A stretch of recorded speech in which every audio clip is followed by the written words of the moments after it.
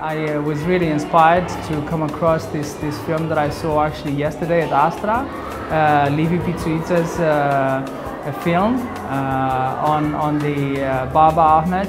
The, the, uh, the, the title is Terrorist Suspect Dad, I think. It was very insightful and, and also uh, a good lesson on how to do uh, uh, good, to, to make a good documentary, uh, which is something that I'm really interested in.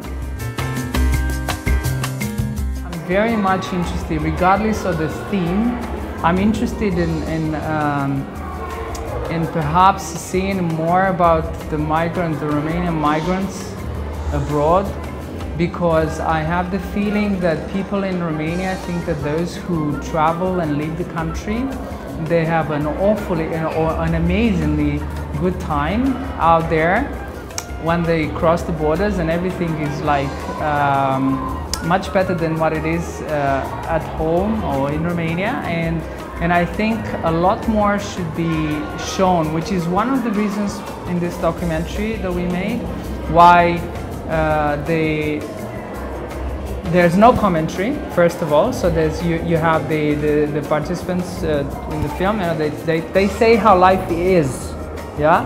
And the choices they made yeah? So there's agency.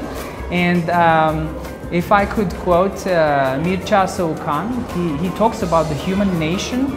So it's not about these migrants being linked to a border to a state to it's about and so what I'd like to finalize this thought is to, to somehow focus on, on what it means uh, to be linked because we're all humans, whether we're outside or inside, abroad or at home.